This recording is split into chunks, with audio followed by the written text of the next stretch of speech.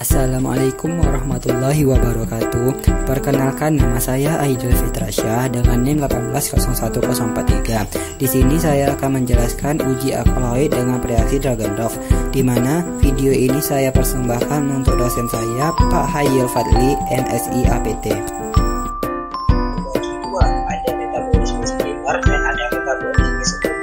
pasti teman-teman akan bertanya apa sih metabolisme primer dan sekunder itu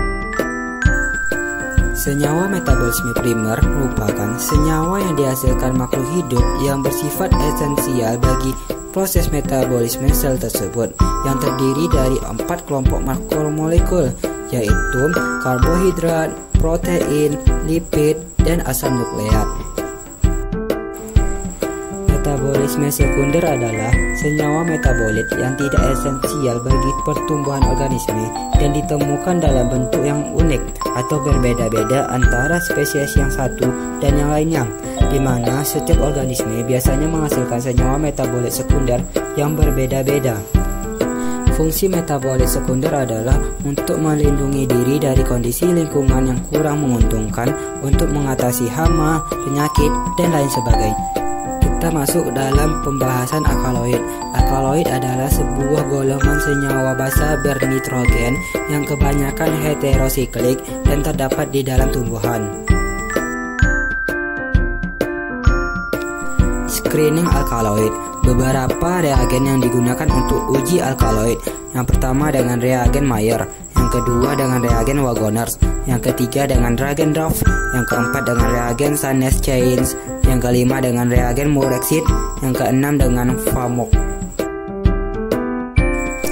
Pada topik kali ini kita akan membahas screening alkaloid dengan reagen Dragendorf, di mana pada pembuatan reagen Dragendorf digunakan bahan baku bismut.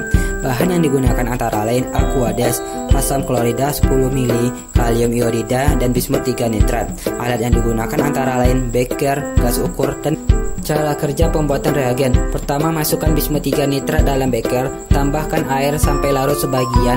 Ditambah 10 ml asam klorida pekat hingga bismut larut sempurna. Kedua kalium iodida. Ditambah air secukupnya hingga larut. Ketiga campurkan kedua larutan tersebut hingga terbentuk warna merah oranye. Keempat reagen siap digunakan Cara kerja screening alkaloid dengan bereaksi Dragendorf